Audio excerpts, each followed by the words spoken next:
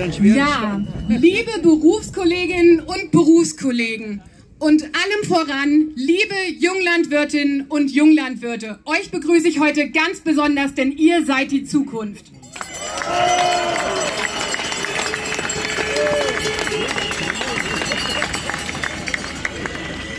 Eins kann ich euch hier ganz ehrlich sagen, es geht hier um was. Und deswegen habe ich mir richtig viele Sachen aufgeschrieben. Aber ich lasse die jetzt in meiner Tasche, weil ich wäre nicht die Bundesvorsitzende der Landjugend und würde hier für 100.000 junge Menschen und auch stellvertretend für 20.000 Jungwinzerinnen und Junglandwirte stehen, wenn ich das nicht frei und aus vollem Herzen auch so tun könnte.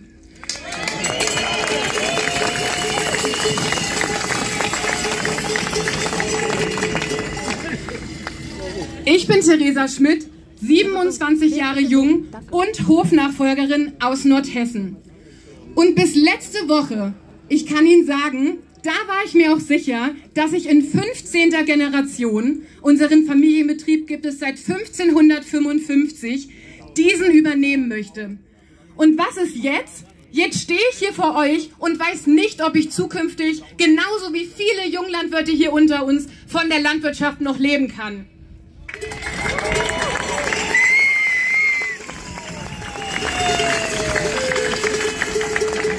Dass die Bundesregierung hier mit unserer Zukunft spielt, bei wirklich sinnlosen Kürzungen, wie bei der Agrardieselrückvergütung oder auch bei den Steuererleichterungen, die zu streichen für die grünen Kennzeichen, das ist ein absolut falsches Signal. Die Politik macht wirklich gerade alles, um unsere Zukunftsperspektiven zunichte zu machen, statt uns einfach eine Zukunft zu ermöglichen.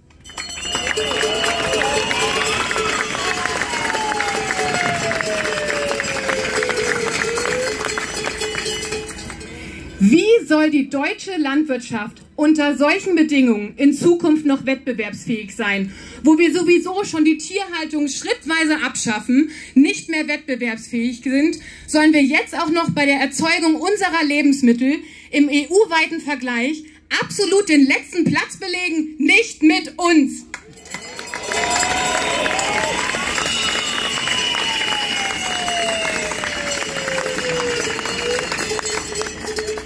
Kann Ihnen sagen, die Jugend macht da nicht mit. Keine Agrardieselverteuerung aus dem Hinterhalt. Das ist eine ganz miese Nummer.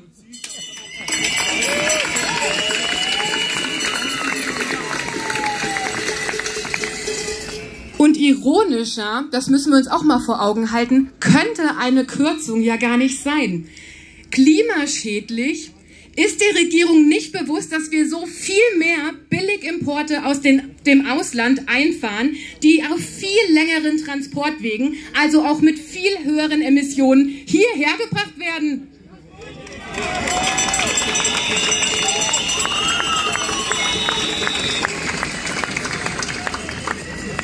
Und ich sehe hier auch zu Recht die Schilder. Ich will noch Landwirt werden. Ja, das wollen wir auch. Wir wollen in Zukunft Landwirtschaft hier in Deutschland weiter vorantreiben. Wir sind innovativ, wir sind mutig, wir gehen voran. Ja, wir wollen was verändern, aber wir werden nicht gelassen.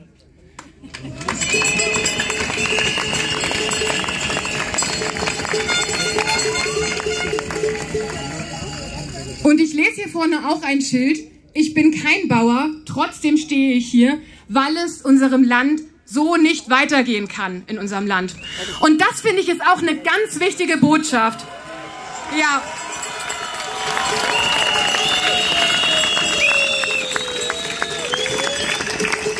Denn egal wo ich bin, ich höre es von unseren Verbraucherinnen und Verbrauchern.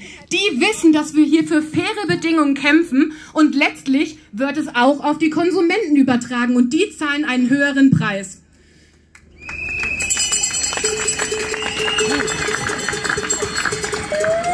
Wir müssen hier jetzt wirklich alle an einem Strang ziehen. Und ich habe auch noch ein paar Botschaften mitgebracht.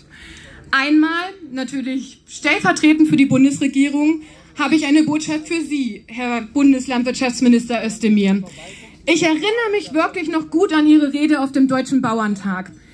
Da haben Sie wirklich von einem Schulterschluss mit der Landwirtschaft gesprochen. Und Sie haben auch von fairen Bedingungen und ja, von Planbarkeit gesprochen. Denn das brauchen wir Junglandwirte. Planbarkeit, damit wir auch in Zukunft noch das Essen auch für die Bundesregierung erzeugen können. Die brauchen kein Essen. Brauchen wir, kann weg. Kann weg. Und mit Blick auf den Bauerntag frage ich mich natürlich, was ist seither passiert? Und das ist kaum etwas bis gar nichts. Und das darf nicht so weitergehen.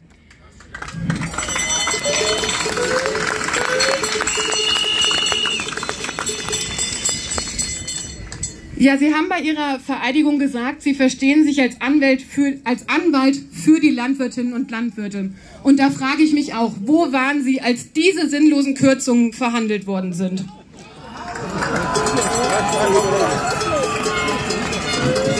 Wir machen frei.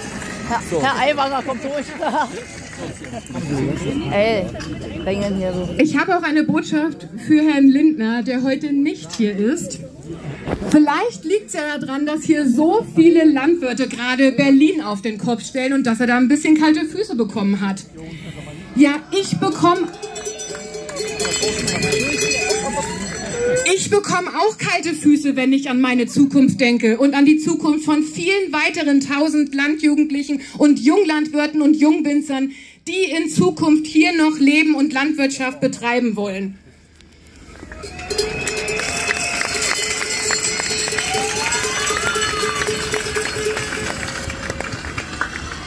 Und auch wenn ich an Herrn Scholz oder auch an unseren Vizekanzler, Herr Habeck, denke, habe ich eine klare Botschaft. Ich weiß noch genau, als wir hier vor vier Jahren standen beim Brandenburger Tor.